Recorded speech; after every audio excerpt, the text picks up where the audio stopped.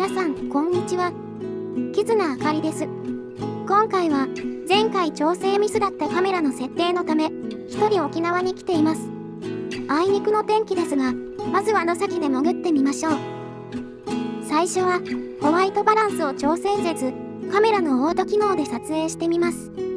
水深は10メートル程度なのですが、ご覧の通り青いですね。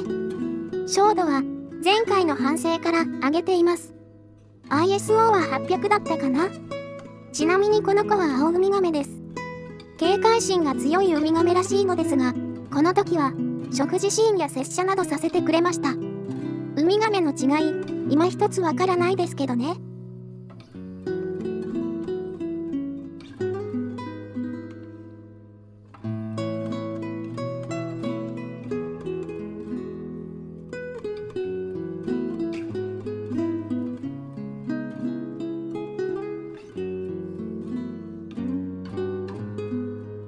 馬の実は本来オレンジ色なんですが、水深の割に黒くなっちゃいます。前回至近距離で撮影した枝サンゴの大群落ですが、遠くから見ると、こうやって丘全体がサンゴの群落になっていることが分かりますね。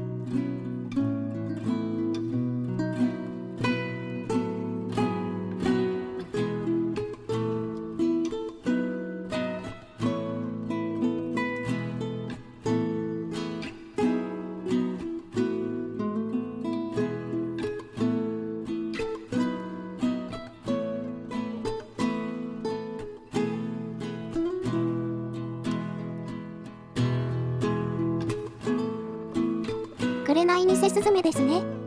今回は、ちょっとした岩陰などでたくさん見かけました。綺麗な紫色ですが、飼育下では、性格がかなり荒いので要注意です。皮膚き愛護はペアみたいですね。あと、今日は、天気が悪かったおかげなのか、普段は隠れている一頭体の仲間が表に出てました。今いるのは黒帯松笠ですね。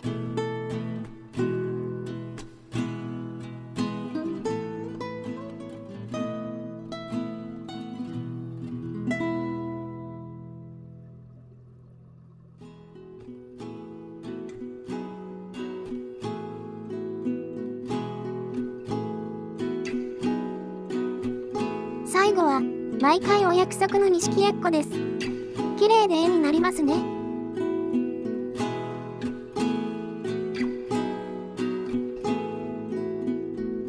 天候や水深の浅さを考慮すべきだとは思いますがこれくらいの青さは自分的には許容範囲かなという思いもあります。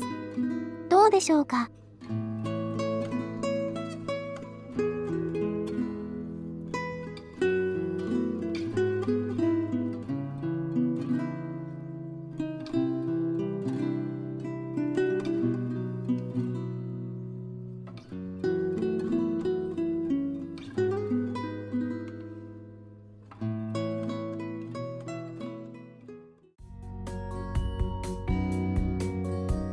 午後になって天気は上向きです。ホワイトバランスをいじって遊んでみましょう。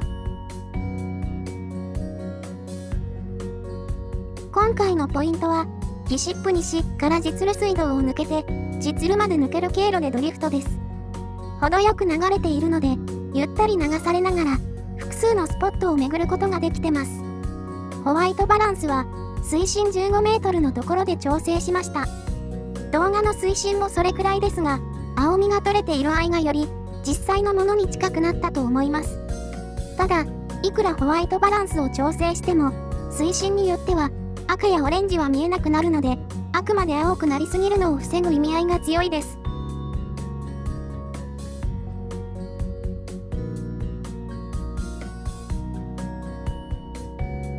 ここ一帯はダイナミックな地形に魚やサンゴも多くていろんな人が楽しめるポイントみたいですね。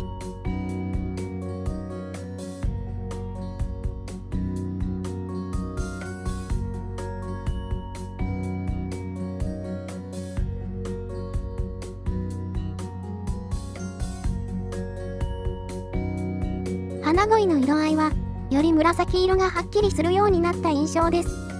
にしても綺麗ですね。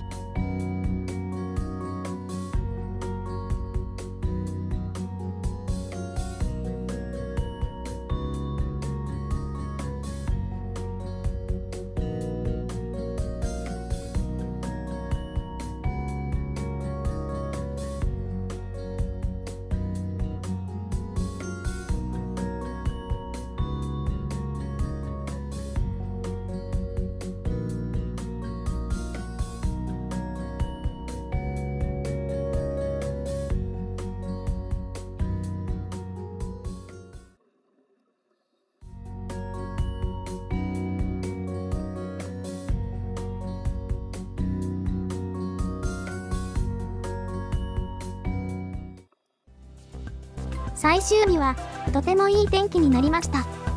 今日も同じ設定で潜ってみます。最後は黒島ツインロックというポイントです。ゆかりさんが潜った黒島北に近い場所ですが流れが強くなることもあり少し難易度が高めです。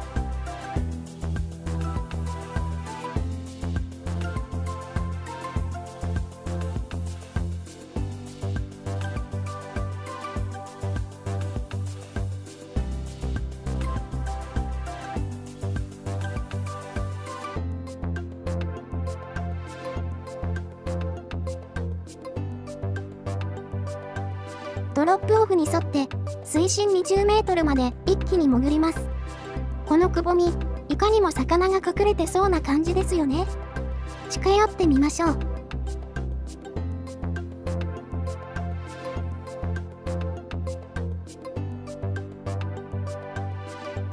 スミレヤッコです。アクアリウムの世界ではとても人気がある魚ですが飼育難易度も高いです。沖縄にも生息していることは知っていたのですが、実物を見れてびっくりしています。すみれ色と黄色のコントラストがとても美しいですね。ヤッコ系は壁にお腹を向けて泳ぐ習性があるので、こうやって逆さに泳いでいることも多いです。今まで1回も目撃したことがなかったのですが、スミレヤッコ自体はやや深い場所を好むことから、今まではそういうポイントを案内してもらえなかったのが理由でしょうか。アドバンスを取得したので、今後はこういった魚を探すチャンスが増えそうです。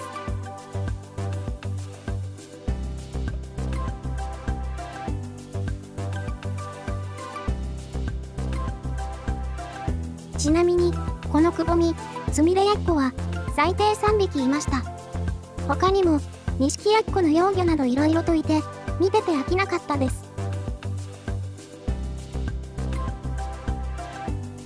10メートル程度の少し浅い場所まで上がってきました。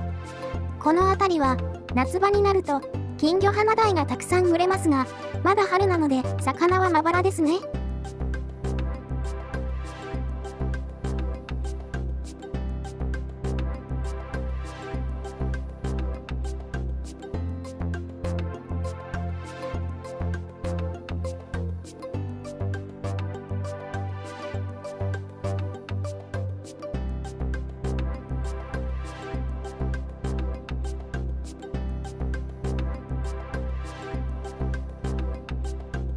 20メートル程度までまた潜って少しずつ浅いところへ戻っています。流れがある。場所なので霞蝶々音が多いです。離れ根の西側の浅瀬に来ました。水深が5メートル程度と浅すぎるのでホワイトバランスはオフにしました。霞アジがいます。離れ根に釣り人がいるので蒔絵に集まる小魚目当てでしょうね。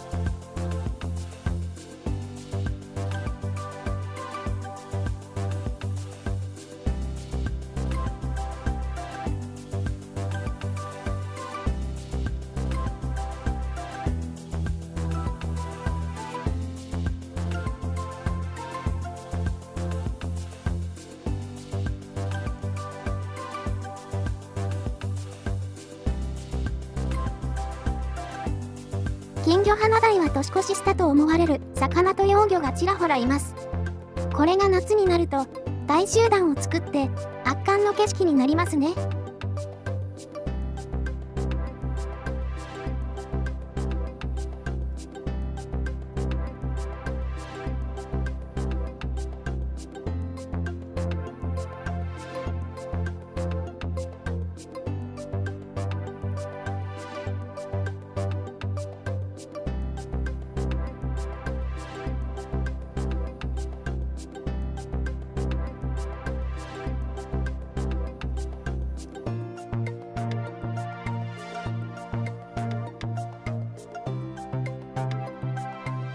リーグの端っこに近い場所まで来ました。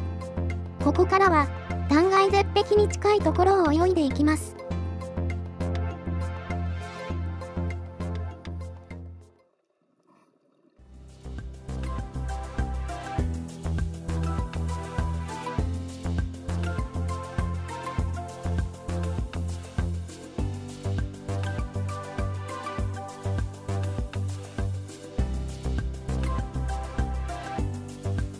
りから流れがだいぶ速くなってきます。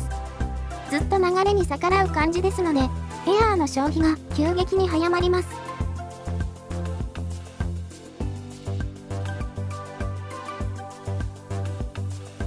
この辺りで前回の広告者様のご紹介をいたします。広告していただき、本当にありがとうございます。コメント返しもしましょうか。プポツ的なコメ。いつもありがとうございます。こういったコメントが励みになりますね。カメラの性能、画質について。カメラ自体は、もう、結構、昔のモデルになりますが、やはりアクションカムと比較すると、より精密な写真を撮れる印象です。ですが、欠点としては、マクロが弱いこと、ハウジング含め、巨大なセットになるので、かさばるというのがあります。動画の色合いについて、いろんな意見がありますが、あまり青すぎてもダメなのかな、と思いますので、今後は、浅場では、補正なし、深場に入るときは、補正ありでいこうと思います。それでは、今回の動画は、これで終わろうと思います。夏休みの前に、どこか、国内で1回潜れたらいいですが、高知の柏島に興味があるので、スケジュールを考えてみようかなと思います。ご視聴、ありがとうございました。